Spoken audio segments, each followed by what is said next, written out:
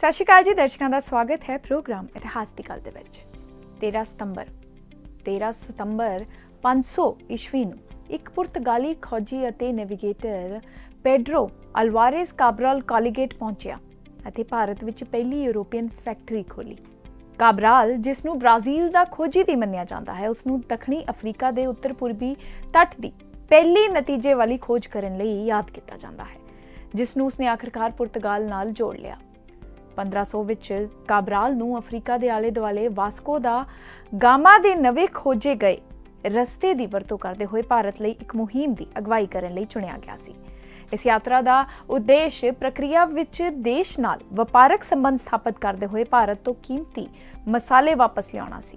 ਇਸ ਮਸਾਲੇ ਦੇ ਵਪਾਰ ਵਿੱਚ ਪਹਿਲਾਂ ਅਰਬ, ਇਤਾਲਵੀ ਅਤੇ ਤੁਰਕੀ ਵਪਾਰੀਆਂ ਦਾ ਦਬਦਬਾ ਸੀ। ਕਾਬਰਾਲ 13 ਸਤੰਬਰ 1500 ਨੂੰ ਕਾਲੀਕਟ ਪਹੁੰਚਿਆ। ਅਤੇ ਜਲਦੀ ਹੀ ਸਥਾਨਕ ਸ਼ਾਸਕ ਦੁਆਰਾ ਇੱਕ ਫੈਕਟਰੀ ਅਤੇ ਗੋਦਾਮ ਖੋਲ੍ਹਣ ਦੀ ਆਗਿਆ ਪ੍ਰਾਪਤ ਕੀਤੀ। ਇਸ ਨੂੰ ਖਿੱਤੇ ਵਿੱਚ ਆਪਣੇ ਵਪਾਰਕ ਏਕਾਧਿਕਾਰ ਲਈ ਖਤਰੇ ਵਜੋਂ ਵੇਖਦਿਆਂ ਅਰਬਾਂ ਨੇ ਪੁਰਤਗਾਲੀਆਂ ਉੱਤੇ ਹਮਲਾ ਕਰ ਦਿੱਤਾ। ਇਸ ਹਮਲੇ ਵਿੱਚ ਪੁਰਤਗਾਲੀ ਬੁਰੀ ਤਰ੍ਹਾਂ ਜ਼ਖਮੀ ਹੋ ਗਏ ਸਨ। ਉਹਨਾਂ ਦੇ ਲਗਭਗ 500 ਆਦਮੀ ਮਾਰੇ ਗਏ ਸਨ ਅਤੇ ਉਹਨਾਂ ਦਾ ਬੁਨਿਆਦੀ ਢਾਂਚਾ ਤਬਾਹ ਹੋ ਗਿਆ ਸੀ। ਕਾਬਰਾਲ ਨੇ ਕਾਲੀਕਟ ਦੇ ਸ਼ਾਸਕ ਤੋਂ ਸਪਸ਼ਟੀਕਰਨ ਲਈ 24 ਘੰਟੇ ਉਡੀਕ ਕੀਤੀ, ਪਰ ਉਸ ਨੂੰ ਕੋਈ ਨਹੀਂ ਮਿਲਿਆ। ਪੁਰਤਗਾਲੀ ਆਪਣੇ ਬੰਦਿਆਂ ਉੱਤੇ ਹੋਏ ਇਸ ਹਮਲੇ ਤੋਂ ਗੁੱਸੇ ਵਿੱਚ ਆ ਗਏ ਅਤੇ 10 ਅਰਬ ਵਪਾਰੀ ਜਹਾਜ਼ਾਂ ਨੂੰ ਅੱਗ ਲਗਾ ਦਿੱਤੀ। ਕਾਬਰਾਲ ਨੇ ਸ਼ਹਿਰ ਵਿੱਚ ਹੋਰ ਬੰਬਾਰੀ ਕੀਤੀ ਜਦੋਂ ਉਸ ਨੂੰ ਅਚਾਨਕ ਹਮਲੇ ਬਾਰੇ ਸਥਾਨਕ ਸ਼ਾਸਕ ਤੋਂ ਕੋਈ ਸਪਸ਼ਟੀਕਰਨ ਨਹੀਂ ਮਿਲਿਆ। ਇਸ ਵੱਡੇ ਪੱਧਰ ਤੇ ਕਤਲੇਆਮ ਦਾ ਦੋਸ਼ ਮੁਸਲਮਾਨਾਂ ਪ੍ਰਤੀ ਪੁਰਤਗਾਲੀ ਦੁਸ਼ਮਣੀ ਤੇ ਲਗਾਇਆ ਗਿਆ ਸੀ, ਜੋ ਉੱਤਰੀ ਅਮਰੀਕਾ ਅਤੇ ਆਈਬੇਰੀਅਨ ਪ੍ਰਾਇਦੀਪ ਵਿੱਚ ਸਾਲਾਂ ਤੋਂ ਮਤਭੇਦ ਪੈਦਾ ਕਰ ਰਿਹਾ ਸੀ। ਅੱਗੇ ਪੁਰਤਗਾਲੀ ਭਾਰਤ ਵਿੱਚ ਮਸਾਲੇ ਦੇ ਵਪਾਰ ਨੂੰ ਪੂਰੀ ਤਰ੍ਹਾਂ ਕੰਟਰੋਲ ਕਰਨਾ ਚਾਹੁੰਦੇ ਸਨ ਅਤੇ ਉਹਨਾਂ ਦੇ ਰਾਹ ਵਿੱਚ ਕਿਸੇ ਕਿਸਮ ਦਾ ਮੁਕਾਬਲਾ ਨਹੀਂ ਚਾਹੁੰਦੇ ਸਨ। ਇਸੇ ਤਰ੍ਹਾਂ ਮਸਾਲੇ ਦੇ ਵਪਾਰ ਵਿੱਚ ਵੀ ਪੁਰਤਗਾਲੀਆਂ ਦੀ ਮੌਜੂਦਗੀ ਨੂੰ ਅਰਬਾਂ ਨੇ ਅਨੁਕੂਲ ਨਹੀਂ ਦੇਖਿਆ। ਸ਼ੁਰੂ ਤੋਂ ਹੀ ਪੁਰਤਗਾਲੀ ਵਪਾਰ ਦੇ ਸਾਰੇ ਖੇਤਰਾਂ ਵਿੱਚ ਵਿਸ਼ੇਸ਼ ਸਲੂਕ ਚਾਹੁੰਦੇ ਸਨ। ਇਸ ਕਰਕੇ ਅਰਬ ਵਪਾਰੀਆਂ ਦਾ ਮੰਨਣਾ ਸੀ ਕਿ ਉਹ ਜਲਦੀ ਹੀ ਪੁਰਤਗਾਲੀਆਂ ਤੋਂ ਹੋਰ ਮੌਕੇ ਗਵਾ ਦੇਣਗੇ ਅਤੇ ਇਸ ਲਈ ਸਥਾਨਕ ਹਿੰਦੂ ਸ਼ਾਸਕ ਨੂੰ ਉਹਨਾਂ ਦੇ ਵਿਰੁੱਧ ਭੜਕਾਇਆ ਪੁਰਤਗਾਲੀ ਅਤੇ ਅਰਬ ਇੱਕ ਦੂਜੇ ਬਾਰੇ ਬਹੁਤ ਬੋਲਦੇ ਰਹੇ ਅਤੇ ਕਦੇ ਵੀ ਇਕੱਠੇ ਨਹੀਂ ਹੋਏ।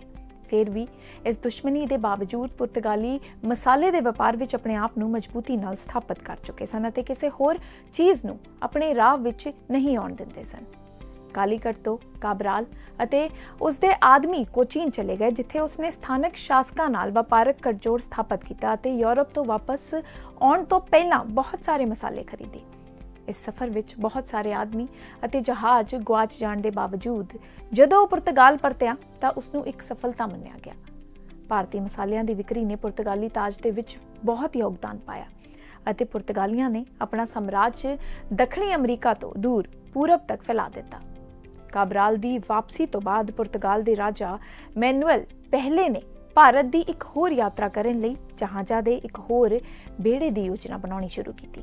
ਅਤੇ ਕਾਬਰਾਲ ਨੂੰ ਇਸ ਯਾਤਰਾ ਲਈ ਕਮਾਂਡਰ ਵਜੋਂ ਵੀ ਚੁਣਿਆ ਗਿਆ।